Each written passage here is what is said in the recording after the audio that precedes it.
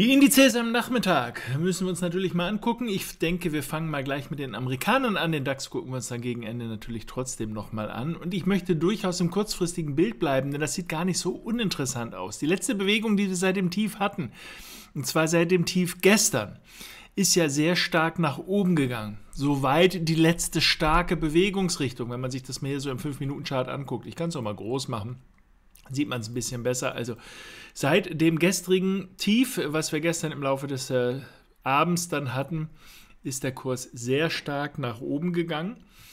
Ob jetzt bis dahin oder ob noch bis hier, wie auch immer, aber auf jeden Fall nach oben. Und wir sind jetzt im Moment in einer Abwärtsbewegung. Aber diese Abwärtsbewegung ist, soweit wir das jetzt im Moment sehen können, eben nicht besonders stark. Sie ist hängend. Das sieht typisch korrektiv aus. Das lässt nicht vermuten, dass wir eine realistische Chance haben, dass da noch mehr kommt, dass wir irgendwann hier oben in diesen Bereich da auf jeden Fall noch mal reinlaufen, vielleicht sogar richtig weit, dass es noch weiterläuft. Das ist nicht ausgeschlossen, aber zumindest mal das, was wir hier vorne haben, irgendwie sich da hinten noch mal anschließt. Und ich sage bewusst irgendwie, denn die alles entscheidende Frage ist ja jetzt, geht das sofort los oder geht es nicht sofort los? Und tatsächlich haben wir jetzt ein letztes Tief hier gehabt. Das war jetzt heute gegen die Mittagszeit und äh, im Moment ja die Aufwärtsbewegung. Vielleicht hier jetzt gerade auf einer noch kleineren Ebene eine Pause. Also es ist, besteht schon durchaus die Chance, dass der Kurs quasi jetzt auf dem Weg ist, sich weiter nach oben da fortzusetzen. Also dann sprich das, was wir hier haben, da hinten nochmal anzuschließen. Ich bin also eher positiv gestimmt, was die Bewegungsrichtung angeht, zumindest mal vorläufig.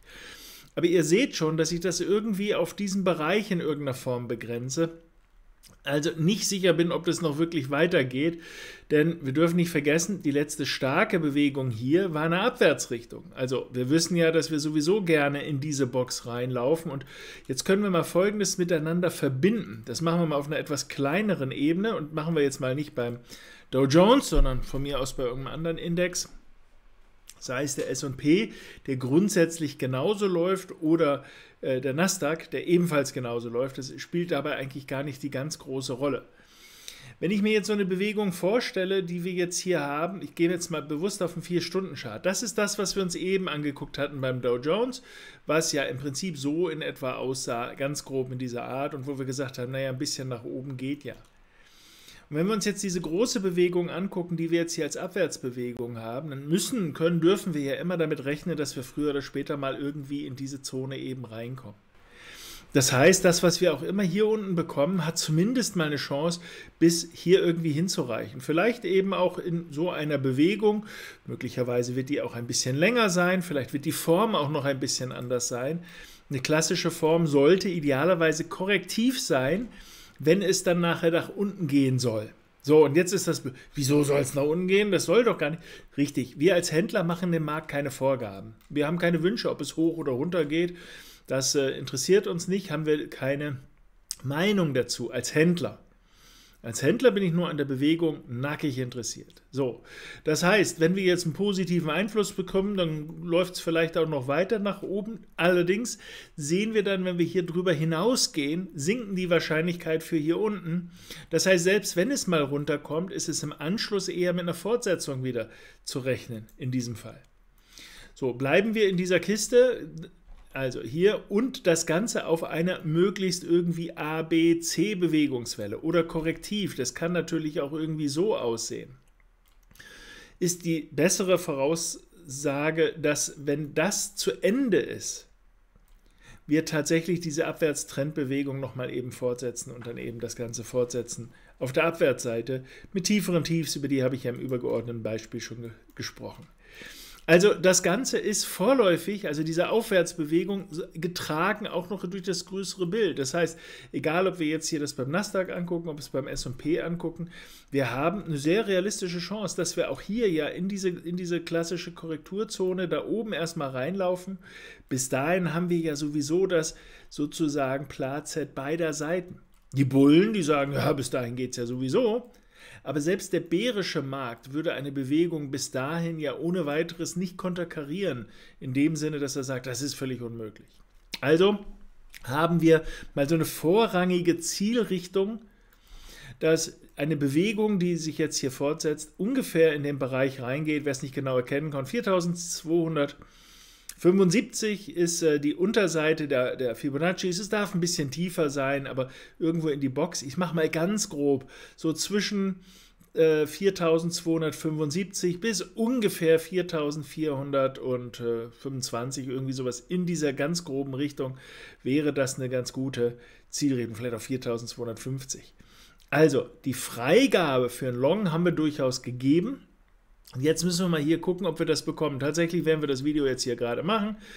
Äh, fängt der Kurs ja schon an, sich so ein bisschen hier nach oben zu entwickeln und die Voraussetzung eigentlich für vorläufig nochmal steigende Kurse scheint ganz gut zu sein. So, damit haben wir die Freigabe. Wie können wir das Ganze jetzt handeln? Naja, wir sind auf der Suche tendenziell für die Long-Seite. Und äh, der, es ist durchaus clever, wenn wir einsteigen wollen, dann gewisse Korrekturmuster eben abzuwarten. Das heißt, wenn wir eben eine starke Bewegungsrichtung haben, sobald es wieder wackelt, dann in die Richtung. Wackelt ist immer Synonym für entweder wie wild hin und her, korrektiv oder eben auch gerne dreiwellig. Also es geht natürlich in beide Richtungen, dass wenn wir dann auf der entsprechenden ähm, anderen Seite triggern, dass es dann eben weitergeht. Das ist hier ebenfalls durchaus realistisch, dass wir hier Fortsetzungen eben in diese Richtung kriegen, mit Freigabe ungefähr in diese Zone da oben rein. Das ist, das muss ich dazu sagen, natürlich kein Must-Have. Das ist nicht so von wegen, siehst du, und genauso wird es jetzt kommen, das äh, könnt ihr Haus, Hof und Oma drauf verfetten. Das ist nicht die Aufgabe eines Händlers, aber es ist das, sagen wir mal, vorrangige Bild aus der aktuellen Sicht und äh, dementsprechend ist die Long-Seite gut. Das heißt, kann ich jetzt dann doch eigentlich jetzt, ach, warum soll ich auf den Rücksetzer warten? Kann ich da nicht blindlings Long gehen? Er hat doch eh gesagt, dass es nach oben geht. Theoretisch schon, aber ihr müsst immer damit rechnen, dass diese Korrektur ja auch unter Umständen ein bisschen komplexere Formen annimmt und anschließend erst nach oben geht. Und wenn ihr dann sagt, so ein Rücksetzer fändet ihr unangenehm, dann darf das natürlich nicht sein. Denn das können wir letztlich nicht ausschließen. Auch das ist eine normale ABC-Korrekturform, die dann nachher eben nochmal nach oben geht. Also wundern würde ich mich darüber nicht. Darüber würde ich mich auch deshalb nicht wundern, da wir schon dreiwellig runtergehen. Auch das ja ganz schön korrektiv aussehen, aussieht. Und ihr wisst, dreiwellig runter, dreiwellig hoch, nochmal ein Schub runter. Das ist die klassische Flat-Korrektur, die in 50% der Fälle aller Korrekturen vorkommt. Die meisten von euch erinnern sich, dass ich das schon so häufig vorgestellt habe. Ich will es nicht nochmal im Detail erklären. Aber das ist etwas, was sehr typisch ist. Und das ist der Grund. Wenn das hier wirklich der Fall ist, dann sollte dieses letzte Teilstück recht dynamisch nach unten gehen. Und eben nicht korrektiv. Sprich, wenn es korrektiv geht und dann die Zwischenhochs getriggert werden, dann könnt ihr sagen, naja, das wird wohl nicht dieses Fallbeispiel sein, sondern das wird das mit der Fortsetzung nach oben eben sein. Wenn der aber steil nach unten geht und höchstens mal nach oben wackelt, dann wisst ihr, naja, das mit nach oben ist im Moment noch nichts, sondern wir gehen erst noch nach unten und dann haben wir später vielleicht nochmal die Chance, da auf die Long-Seite zu wechseln. Also im Moment würde ich sagen, wir haben eine ganz gute Chance für zumindest mal so ein bisschen eine Zwischen-Long-Position. Achtet aber darauf, auch in dieser Situation, auf wackelige Rücksetzer, die das Ganze nochmal deutlich bestätigen würden. Gucken wir auf den DAX, dann sehen wir ein äh, Bild, das sich gegenüber gestern kaum verändert hat, außer dass dieser Schwurbel hinten rangekommen ist. Das ist etwas, was im Moment sehr korrektiv ist und wahrscheinlich das widerspiegelt, wie die Marktteilnehmer ticken, nämlich, oh, ich weiß nicht so richtig, was ich tun soll. Ich persönlich auch nicht so sehr, wenn ich das Ding angucke.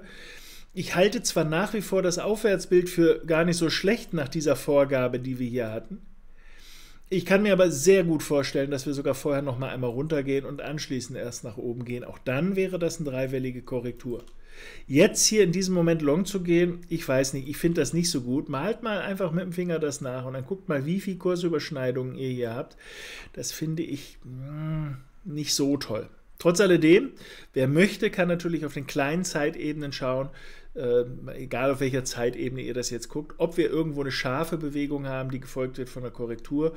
Das, was wir hier im Moment jetzt hier äh, sehen in diesem Chart-Ausschnitt, äh, ist halt irgendwie sehr korrektiv in dem Moment nach oben. Also den DAX finde ich, was das angeht, nicht so toll. Insgesamt allerdings muss man zusammenfassen, alle Indizes hängen so ein bisschen in so einem Korrekturmuster fest. Das heißt, das ganz tolle, das ganz klare Bild, das ich eigentlich am liebsten handle, haben wir in keinem dieser Szenarien. Aber trotz alledem zumindest mal etwas, was man im Auge behalten sollte. Und es gilt nach wie vor die Regel, die dynamische Richtung sehen, die wackelige Gegenbewegung abwarten und anschließend den Ausbruch über der Korrektur dann über das Zwischenhoch dann eben nutzen für den Trading-Einstieg. In diesem Sinne euch erstmal alles Gute und ganz liebe Grüße.